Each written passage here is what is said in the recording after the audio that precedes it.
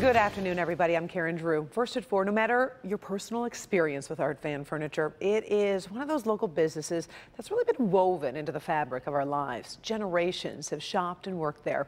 We have team coverage this afternoon. Paula Tutman talking with employees, but first, consumer investigator Hank Winchester has the news we heard was coming, but we're still trying to digest, Hank. Yeah, Karen, it was a big shock, I think, for many of the employees inside here to hear that final news, and also for many customers making their way inside the store here in Warren today. Uh, here's the latest information. Here's what we know right now 141 Art Van stores are going to close altogether. That includes Michigan, Ohio, Indiana, Illinois, Iowa, and Missouri locations. Sales, we're told, will begin tomorrow at all Art Van stores across the Midwest, including right here in Metro Detroit. Some locations, like this location here in Warren, they could stay open for another 60 to 90 days, but all that all depends rather on how this plays out in bankruptcy court. But we had an opportunity to speak with a representative for Art Van. Here's what she had to say. We had been trying for the last month to work with our creditors, our lenders, and everyone to work out some kind of a, a deal, and it just didn't come to pass. Do you think it was online competition? I mean, what led to the financial issue? I think it was a combination of a lot of things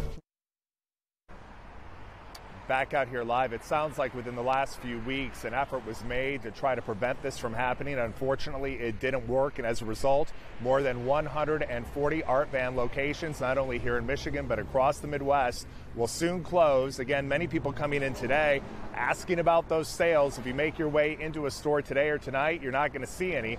But tomorrow, we are told the big discounts will begin. We're live here tonight in Warren. Hank Winchester, help me, Hank. All right, Hank, and now our coverage continues with Paula Tutman, who is gathering reaction from all over Warren. And Paula, first, what are the Art Van employees telling you? Well, first of all, I get the sense that many of them have been reading the tea leaves for some time, but that certainly doesn't make it any easier when you hear it for sure at the big company powwow this morning. Employees tell me they've been expressly instructed not to speak to media in terms of interviews. But two things I observed while walking around and casually chatting at the flagship store in Warren today start with shock. After 20 years, you know. Yeah. I mean, nice you figure we have about 75 years, the three of us. Yeah. I think we're all dazed. I think we're all numb. And I've been with the company for 29 years. But I also saw incredible professionalism. So let me see if I have something like this in stock and I'll let you know, okay? Employees with decades of experience, unwilling to let go of their customer care, even as the clock ticks down on their employment. One employee told me he thought the writing was on the wall when buyers were let go months ago. Because without buyers, a store can't create relationships with suppliers. And without suppliers, the pipeline begins to shut down for merchandise. As incredibly gracious and polite as the employees were, Warren Mayor Jim Fouts was anything but. Instead, he is hopping mad today. He would be turning over in his grave because I think he would be shocked and devastated what has happened to a great charitable company and especially to the employees who have their lifetime investment in this company. In a letter delivered to him early this morning before the big announcement, it was revealed that the employees will be let go as early as May 5th. And in the process, letting go of 3,700 employees nationwide company wide in stores under the monikers of Art Van, Sleep Stores, Wolf, Scott Shuptrine, operating in eight states. In Warren alone, 13 warehouse supervisors, 42 team leaders, 38 merchandise pullers, housekeepers, sales staff, a total of 262 employees at this facility alone.